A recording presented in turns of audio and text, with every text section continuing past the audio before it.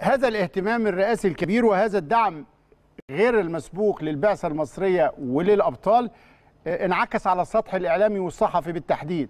فشفنا نتائج أبطالنا المصريين وميدالياتهم منشطات رئيسية في كل الصحف اليومية.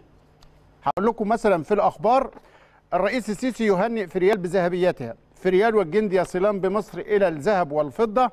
بالوصول للرقم 6 طوكيو 2020 تشهد أكبر عدد من الميداليات المصرية في تاريخ الأولمبياد. قالت كمان الأخبار السيسي للبطلة فريال أشرف شرفتينا ورفعت راسنا كلنا واللاعبة ترد تحيا مصر برئيسها وشعبها. إطلاق أسماء أبطال طوكيو 2020 على المحاور والكباري وافتتاح مدينة آه، مصر الدولة للألعاب الأولمبية بالتزامن مع العاصمة الإدارية. الأهرام أيضا كانت عناوينها الرئيسية ذهبية فريال تشرق في سماء طوكيو. الكاراتيه والخماسي يكتبان لمصر تاريخا جديدا في الأولمبياد. فريال أول فتاة عربية وأفريقية تحقق الذهب بمنافسات الكاراتيه. دعم القيادة السياسية وجهد الوزارة يضع الفراعنة على منصة التتويج ست مرات. وما اختلفش الأمر كتير في الجمهورية عن الأخبار والأهرام فكان منشطات الجمهورية ذهبية فريال فوق الخيال. البطلة للجمهورية الميدالية الذهبية قليلة على مصر. وقالت الجمهورية تحدي الصعاب لرفع اسم مصر. شابوه يا أبطال. كلام هايل كلام في ميعاده كلام يستحق أكتر منه. صحيح. ولكن أنا أتوقف هنا عند هذا التعليق بتاع الأخبار.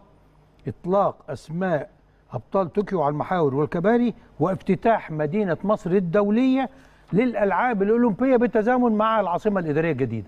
مم. وهنا ناخد القاعدة الثانية الرياضية الخطيرة جدا. أيوه. أعطيني ملعبا أعطيك بطلا. أيوه. اذا اهتمام الدولة بيطبق ببرقيات ومتابعة من سيادة الرئيس ولكن يسبقه إيه؟ عمل جاد.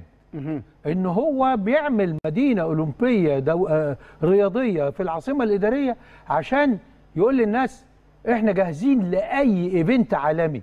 أيوه. إحنا كمان أبطالنا هيروحوا حتت يتجهزوا فيها غير مسبوقة.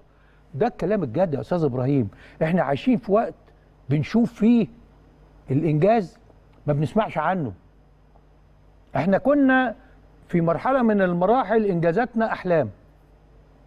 فتتحول إلى كلام. ولكن أن تتحول إلى واقع. ما تسمعش عنه غير لما تشوفه.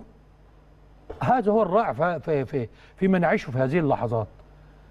الم- المعركة الحقيقية التي تعيشها مصر هو سباق مع الزمن في رفع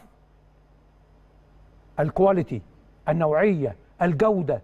الجودة في كل حاجة في الحياة الجودة في العمل الجودة في الم- ال- البنية التحتية الجودة في سعينا. نرجو أن نغتنم هذه الفرصة ونستثمر ما تقدمه الدولة للرياضة آه، سواء من بنية تحتية أو من رعاية فوقية إن إحنا بقى ملناش عذر في أي تقصير.